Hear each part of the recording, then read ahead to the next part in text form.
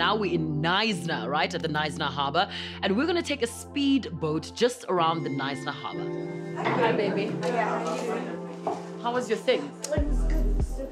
Toke's here. Finally, everybody's together. You know, because there's so many people, we've always have to travel in like two separate cars. Yeah, so we went to the saw the lions and all the things to see, and then from there we just came down here.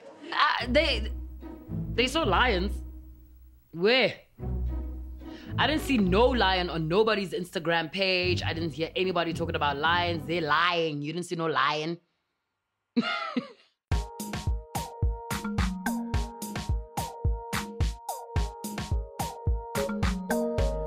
I've never toured the Knysna Harbor. I didn't even realize how beautiful it was.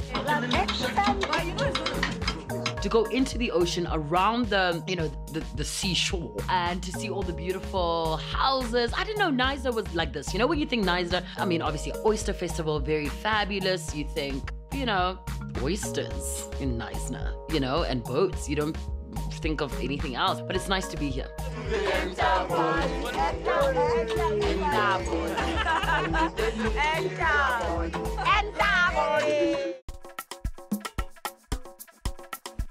Makinwa.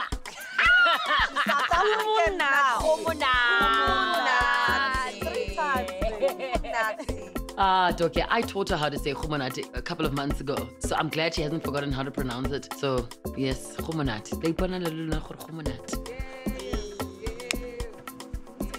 Toke makinwa.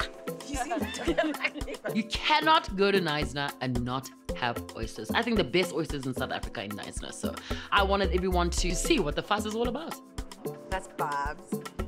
Giving him the venti. Some fancy. Pinky! Pinky! Khumunati! o oh, mogelo wa kwa nigeria o tlo re go monate Dugane. That's Dugane. Oysters are not here yet. So I'm uh-huh. learning some South African words. Dugane. What does that even mean? That's someone's last name. Go be oh. nice. He's ever ready. Hello. We love you too. She, your sister. You, know, you know, I'll tell you guys, I think our parents had an affair. I think so. And then someone had to move out of town. I think so. You know, Daddy moved to Joburg. and then mommy Nigeria, Lagos. So that's how, yeah, that's how it is. That's why we look so alike. You know, Toke and myself, we look very alike, similar. Uh, a lot of people have called us twins. We're very good friends. Met a couple of years ago in Lagos, and she is like myself is an OAP, and she also has her own uh, luxury handbag line. And we do get mistaken for sisters uh, because we're very similar in style, the way we wear our hair, our face. So, yeah, pretty cool.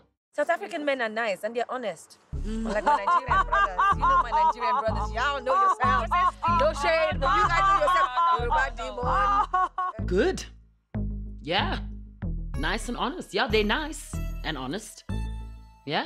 Terrorize me anymore. conversation is too big for us. bonang a re this conversation is too big for her o rayang a re botseng o rayang ee go yena o na le Yeah, no. Yeah, no. I don't want to partake in this one.